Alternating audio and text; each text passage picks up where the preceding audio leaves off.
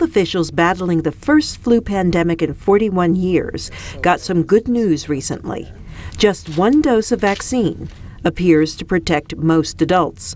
U.S. Secretary of Health Kathleen Sebelius said the news was encouraging.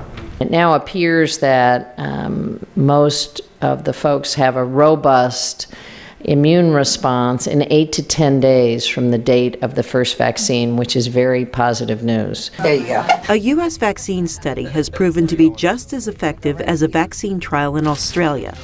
The news is surprising and welcome. One, two, three.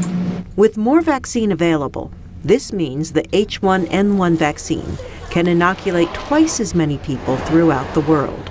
Dr. Anthony Fauci is with the U.S. National Institutes of Health. In essence, it, it mitigates some of the problems that we're talking about when you talk about decreased or not decreased, but inadequate supplies for everyone. U.S. health officials say 98% of the flu cases they're seeing are caused by the H1N1 virus. The vaccine should be available by mid October, but schools are already open.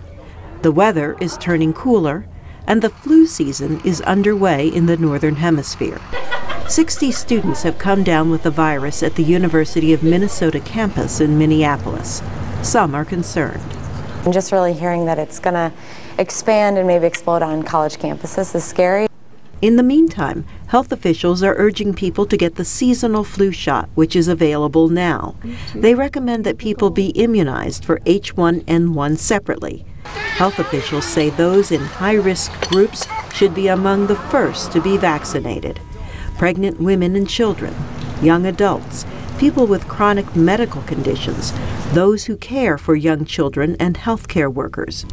Results of trials involving children and pregnant women are expected in a couple of weeks.